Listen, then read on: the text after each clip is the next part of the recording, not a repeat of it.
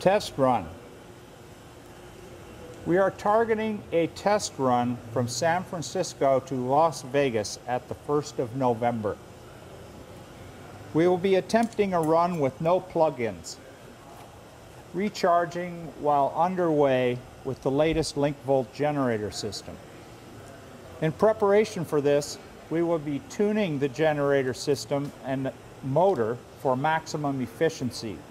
This begins with Uli Kruger and Jonathan Goodwin doing the tuning at Brizio Street Rods in South San Francisco.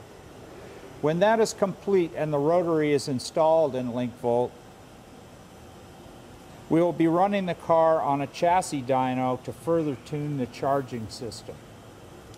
Shaky Pictures will be covering the tuning process with Uli and Jonathan here at Brizio's over the next six weeks or so.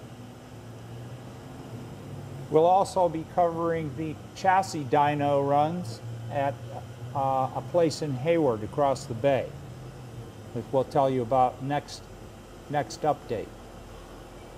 The webcam will be active and we will resume our live updates as the process evolves.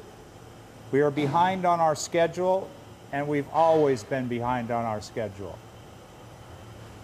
Yet, we are enthusiastic and optimistic about our chances for success. As we move ahead, thank you for your continued support, the Goodwin Young Lincvolt team, and the entire Kruger family.